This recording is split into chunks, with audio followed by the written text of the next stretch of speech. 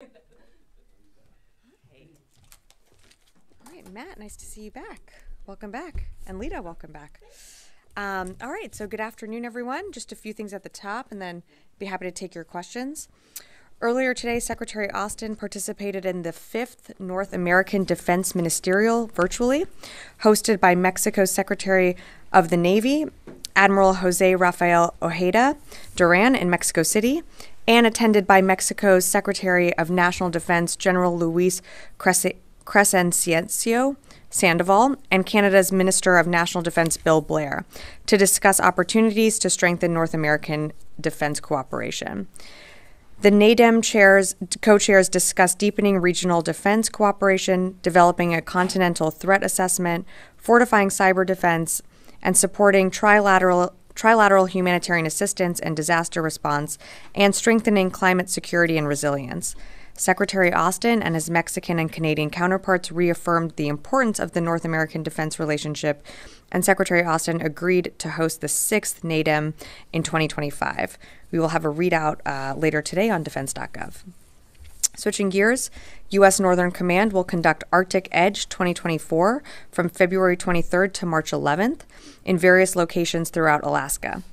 This joint and combined multi domain exercise will focus on operating in extreme cold and high altitude environments and will include NORTHCOM headquarters, Special Operations Command North, and Marine Forces North, along with participation from international allies and interagency representatives. State and local partners, including the Alaska National Guard, Alaska state and local law enforcement, Alaska Native tribes, corporations, and communities will also participate. Arctic Edge is an annual defense exercise designed to demonstrate that our forces are engaged, postured, and ready to assure, deter, and defend the U.S. and Canada in an increasingly complex Arctic security environment.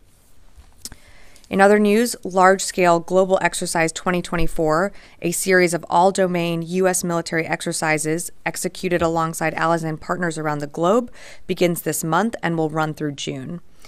LSGE 24 is a global exercise coordinated this year by U.S. European Command in collaboration with participating DoD combatant commands.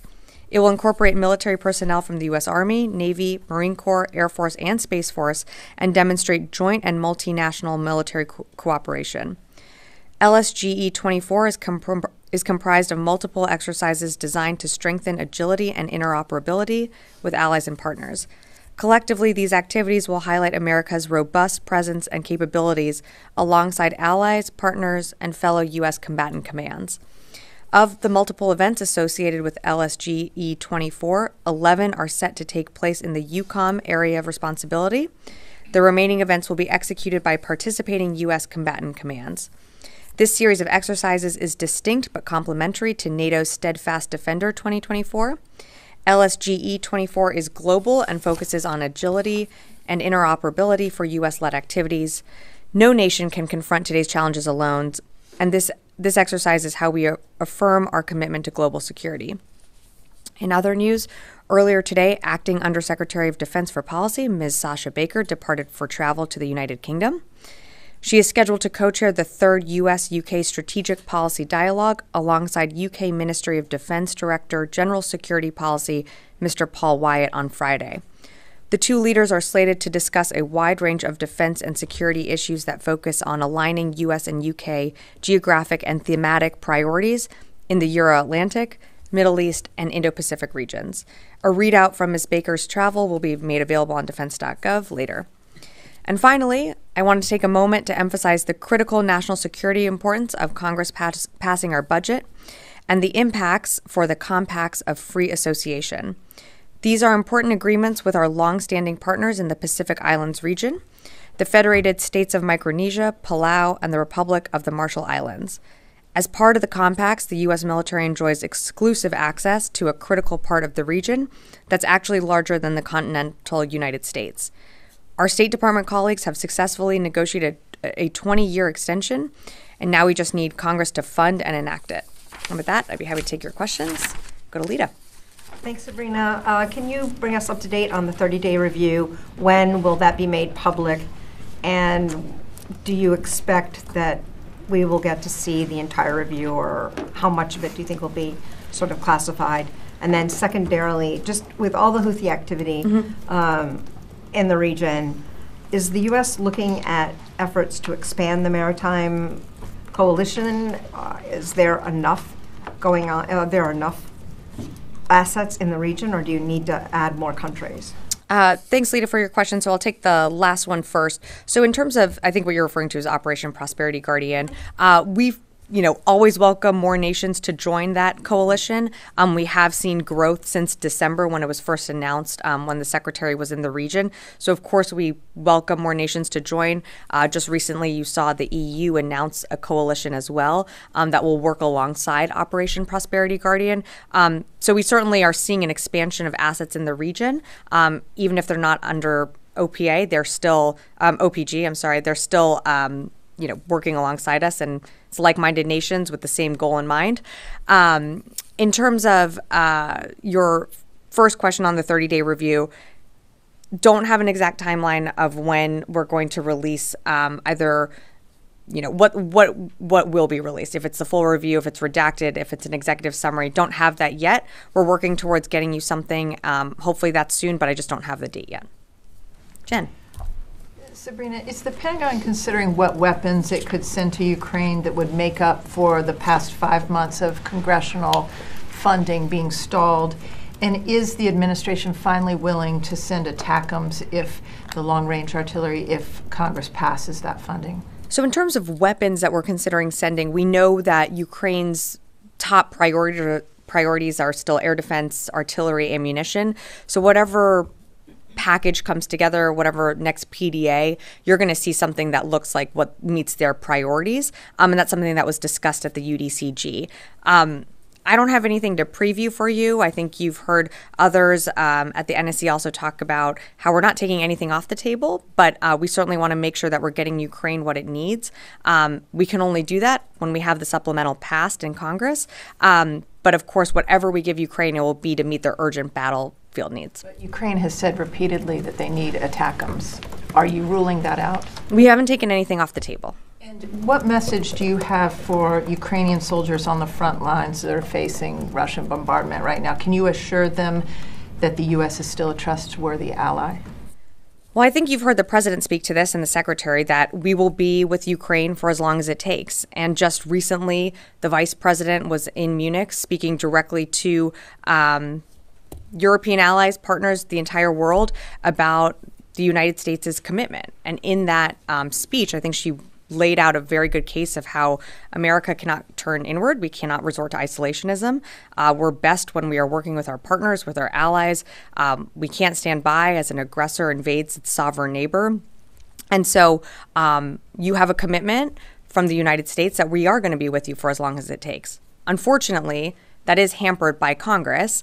Uh, we do need Congress to give us the funding in order to supply Ukraine with what it needs. We don't. We not only need the supplemental, we need a budget passed, um, and so we're working with Congress, and hopefully we'll be able to get something done. Lastly, on the Houthis, sure. how many U.S. ships have been hit by the Houthis?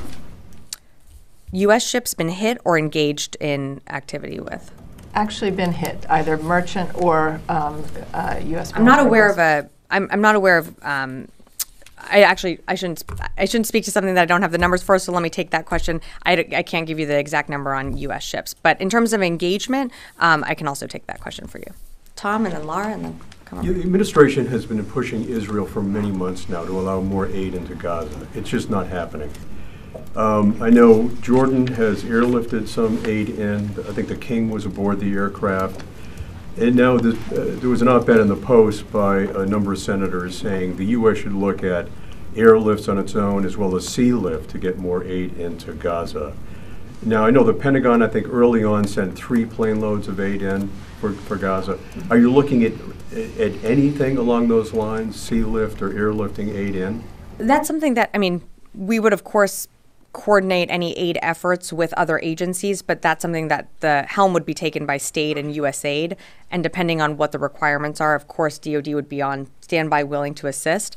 Um, but you have folks on the ground like Ambassador Satterfield. You have other folks from the NSC in the region as well, um, urging for humanitarian aid to get in. Um, should the department. Mm-hmm. Everyone said the same yep. thing. It's not happening. So I'm asking, are you at least looking at uh, providing either more plane loads of aid or, or going with uh, airdrops or, or sea lift. to get- Again, that's something that state and USAID would be the lead on, and if asked DoD to help coordinate, to help get aid in, of course, we'd be willing to assist, but right now I'd direct you to state and aid for more of those questions.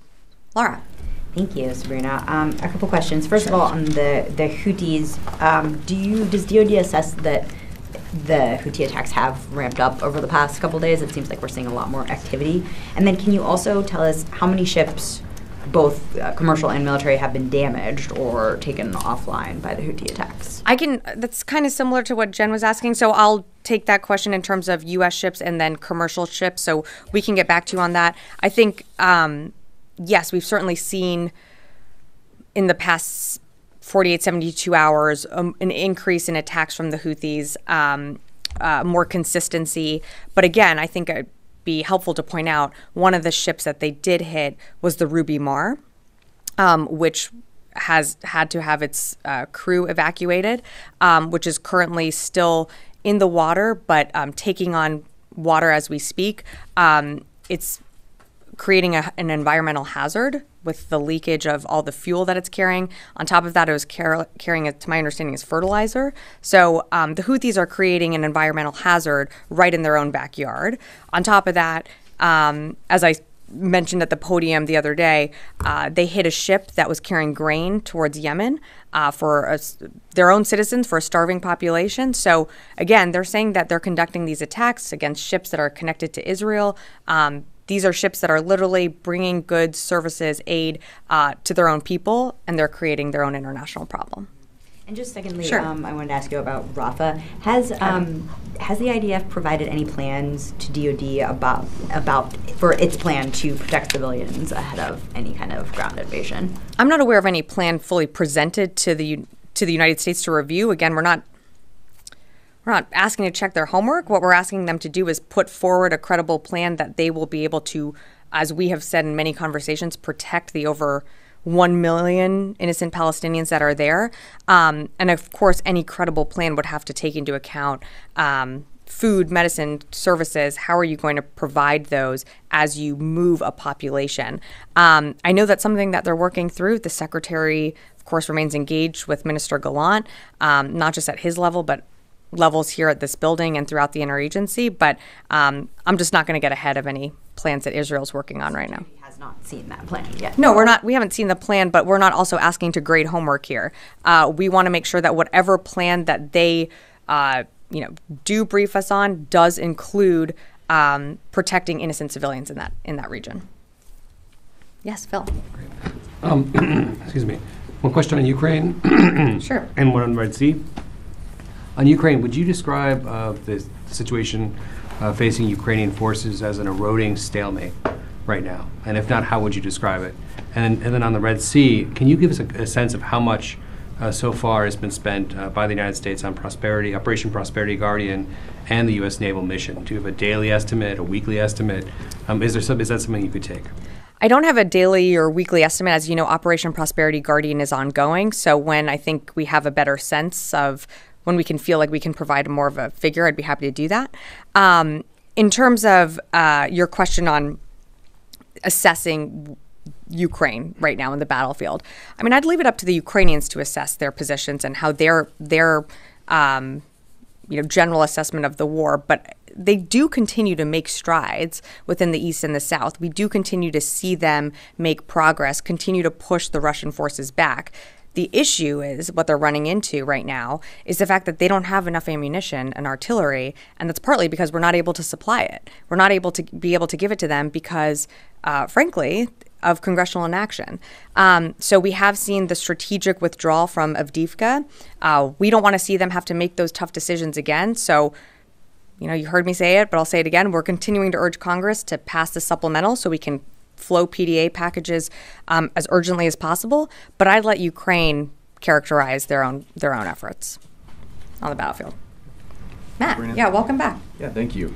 Um, just wondering, have- have there been any new attempted attacks on U.S. forces in the Middle East, in, in Iraq or Syria? Um, and is it the department's assessment that there's essentially a, a credible deterrence um, that's taken hold at this point? Uh, not to my knowledge, there hasn't been an attack since February 4th. Um, so we certainly welcome that there hasn't been any attacks. Uh, I think we send a very strong message with our um, strikes, and you know we will continue to do so if we need to, and we'll do so at a time and place of our choosing. But haven't seen any activity since February 4th. Thank you. Yeah, of course. Yes, Constantine.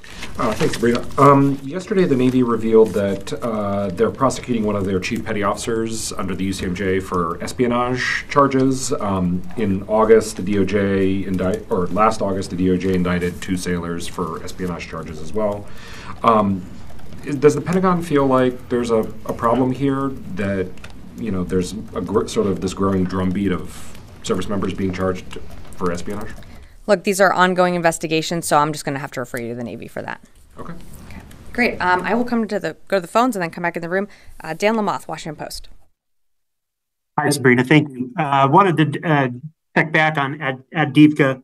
Um, number of reports over the last couple of days suggesting anywhere from a couple dozen to several hundred or even a thousand uh, Ukrainian soldiers have been left behind, missing, captured, various characterizations. What's the Pentagon's assessment at this point? What are you hearing from your Ukrainian counterparts?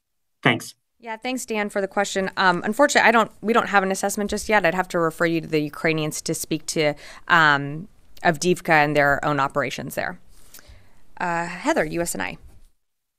Thanks so much. Uh, it seems that with the uptick in Houthi uh, attacks, that they seem to be, I guess, a little bit more accurate given what happened with Rubymar. Um, and it doesn't seem that the U.S. deterrence efforts are working. Is there any plans to step up efforts or change in tactic to in order to try to stop these Houthi attacks on ships in the Red Sea? Well, thanks, Heather. Um, we always reserve the right uh, to respond at a time and place of our choosing. I'm certainly not going to get ahead of any action that we may or may not take. Um, I think what you're seeing, though, in the Red Sea and the Gulf of Aden is a coalition of like minded countries coming together, including most recently with the EU announcing their own coalition that's working alongside Operation Prosperity Guardian um, in working to defend innocent mariners that are transiting the Red Sea, the Gulf of Aden, and to allow for the freedom of navigation and upholding the rule of law. Um, and so we're very proud of our efforts there. Um, our men and women in uniform are putting their lives on the line every single day um, alongside our coalition partners and allies. And I'll just leave it at that. Uh, I'll take one more from the phone and then come back in the room. Uh, Jeff Schogol, Task and Purpose. Thank you. Has the Pentagon seen any indications that this cell phone outage that's affecting AT&T customers may have been caused by a foreign adversary like China, Russia, North Korea, Iran? Uh, thanks, Jeff. I, I'm not aware of us doing an assessment on this. Um, I know the cell phone companies are, are looking into this. Um, we've seen the reporting, but not aware of um, it being because of a foreign actor or entity in any way at this point. Thanks. Rio. Thanks, Sabrina. Uh, this week, a U.S. B-52 bomber flew over the South China Sea with Philippine fighter aircraft. So, what message is the Pentagon sending to China by having a strategic bomber participate in air joint air patrol with Philippines this time? So, Rio, I think what you're referring to is just the regular rotation of a B 52 in the region. Um, these B 52 bombers are part of the Bomber Task Force to support strategic deterrence missions aimed at reinforcing the rules based order in the Indo Pacific region. Uh, the 23rd Expeditionary Bomb Squadron will integrate alongside allies and partners to demonstrate U.S. commitment to security and stability throughout the region. But for more information, I direct you to STRATCOM um, or to Pacific Air Forces. Separately, Sure. have you seen any cases of China's unsafe flight against U.S. and allies uh, aircraft since the beginning of, of the year? I'm not aware of any recent examples or since the beginning of the year. As you know, uh, I think it was late last year, Dr. Ratner briefed on a few um, unprofessional, unsafe, risky behaviors that we had witnessed, but I'm not aware of any recent examples of, of one. Yeah, Natasha. Thanks, Sabrina. So the U.S. has conducted a number of strikes against the Houthis. They're a near daily occurrence now, but it Yeah. seems like they're not working. And I'm just wondering, what the Pentagon's assessment is of how the Houthis seem to be adapting to this kind of new reality, these daily strikes by the US and some by the UK. Are they going underground more? Are they stockpiling and shoring up their weapons supplies? What is the assessment of how they are essentially preparing to dig in for the long haul? Well, some of that assessment um, also includes our own intelligence assessments, which I wouldn't be able to speak to from from here. Um, what I will say, and I, and I know you've heard this, but we never said we've wiped off the map all of their capabilities. We know that the Houthis maintain a large arsenal. Um, they are very capable. They have sophisticated weapons, and that's because they continue to get them from Iran. Um, in terms of an adapt- adaptation from tactics, I, I don't think we've seen anything new. It's more when we see missiles on rails, when we see them about to launch an attack, we are able to take these proactive dynamic strikes. Uh, we've been able to do it more regularly because they frankly have been conducting more attacks more regularly. Um, and we always reserve that right. I think the most uh, sort of more unique or different uh, tactic that we saw was with the unmanned underwater vehicle that they employed for the first time a few days ago. But other than that, I mean, they've pretty much stuck to the same playbook. Yeah, did you have a question? Uh, sure. Do you have any update or anything uh, on the ongoing discussions with your Iraqi partners regarding the high military uh, commission? I know that there were meetings last week, but I don't have an update for you on any meetings that have taken place since then. Uh, well, U.S. Uh, forces are in Iraq to assist Iraqi security forces in the defeat of ISIS. Whether Iraqi top officials say, including Iraqi Prime Minister, just said yesterday that we don't more need U.S. forces and alliance forces. Do you have any comment on it? Look, we're in Iraq at the pleasure of the Iraqi government. Um, we value the partnership that we have with the ISF. We continue to work alongside them and as part of the de-ISIS mission. Uh, the HMC is there as to discuss what our relationship, what our footprint looks like in Iraq. Um, those are ongoing conversations, and we're certainly going to be part of those, but I just don't have more for you. I'm going to go back to the phones and then happy to come back in the room. Uh, Ashley, Breaking Defense. Hi, Sabrina. Um, I wanted to ask there's been a slew of DoD IG reports that have come out lately um, pointing out some flaws in either the flow of weapons into Ukraine or sustainment and training to keep them up and running. Is there a larger look from DoD at the actual logistics or, um, you know, sustaining the weapons within Ukraine? So, I mean, thanks, Ashley, for the question. Uh, you know, we welcome these IG reports. They cer- they certainly shed light on more of what we can be doing and what we could be doing better. I think it's important to put the context or put the IG report that you're referring to into a bit of context. Um, I think what you're referring to is the one that just came out a, a day or two ago. Uh, it, we have sent unprecedented security assistance to Ukraine at such a rapid rate. Um, and Ukraine is right now modernizing its military in the middle of a war. On top of that, we don't have boots on the ground in Ukraine. We don't have people out in the field being able to do sustain sustainment and maintenance uh, alongside the Ukrainians. So we do offer um, telesupport, but again, we're not on the ground. And this is something that the secretary has been very focused on since the very beginning. Uh, he is very familiar with the Bradleys, the Strykers, the Abrams. He understands intimately what it takes to maintain um, these systems. And so part of every PDA package is ensuring that the Ukrainians have the support and the maintenance that they're going to need. And also part of that is training. And so we're certainly aware that uh, we could be doing more. Uh, but we've been saying from the beginning they need to make that we need to make sure that the Ukrainians have every tool available to them uh, to maintain these systems, and we're doing that. Uh, last question from the phones. I'm sorry, I lost my sheet here. Uh, Carla Babb, VOA. Hey, thanks, Sabrina. Uh, I have a question on Pakistan, actually, and then if I can, I'd like to follow up on the Houthis. But uh, the Pakistan's ambassador to the U.S. was talking this week about uh, calling for fast track approval to restore the defensive equipment deal between the U.S. and Pakistan. So, is the Pentagon considering restoration of uh, defense assets between these two countries? And, you know, considering that they're getting their um, weapons from China now, how concerned is the U.S. on Pakistan's reliance uh, on China for defense equipment? Thanks, Carla. Um, I would direct you to State Department. I believe they're engaged in those conversations, so I, I just don't have more to add at this time. And you said you had a question on the Houthis? Yeah, if I can. Um, the the concerning thing is that the ships keep getting hit. And as I understood it, the, the goal of the U.S. mission out there is to protect the ships that are sailing in this vital waterway. I, is the U.S. and its allies, are they failing at their mission right now? And if they're not failing because, you know, ships being hit, if that's not a failure, then how would the Pentagon characterize it? Thanks, Carla. Uh, respectfully, uh, take a bit of issue with the question. Uh, when you say the ships keep getting hit, um, there are hundreds, thousands of ships that go through the Red Sea, the BAM, um, throughout this time period since these Houthis launched their attacks November 19th.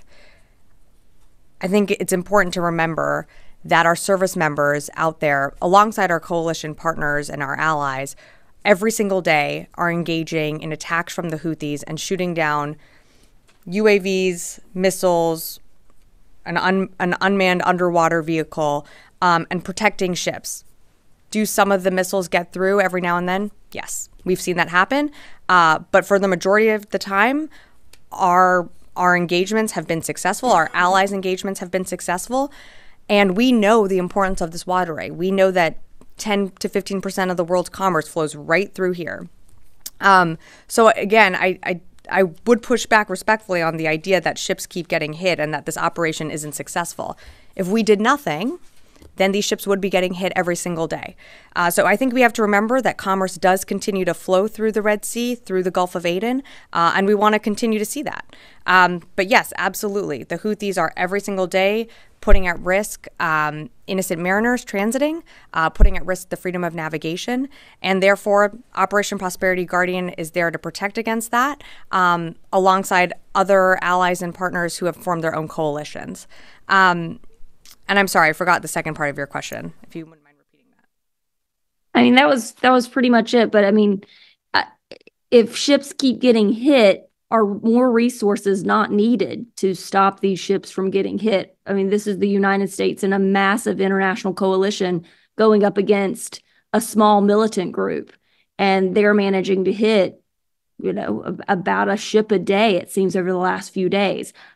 I haven't spoke to them, but I would imagine they would consider that successful. So what more can the US do or should the US do on this issue?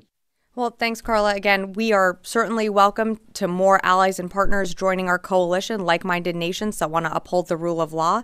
Uh, right now, Central Command is working uh, every single day to ensure the freedom of navigation with the resources that they have um, and working al- alongside partner nations. And so um, I'm just going to leave it at that. Constantine, and then yeah. Thank you, madam. Uh, my simple question is. Uh, uh, go ahead. No, go ahead. Go ahead. My simple question is, as far as uh, attacks in the Middle East on these uh, ship lines and uh, also on, on innocent peoples and all that, there are many bad actors in the area. Who is financing these bad actors or terrorists who are attacking attacking these ships and innocents with financing and also weapons? Is it Iran, Russia, China, or all three or more?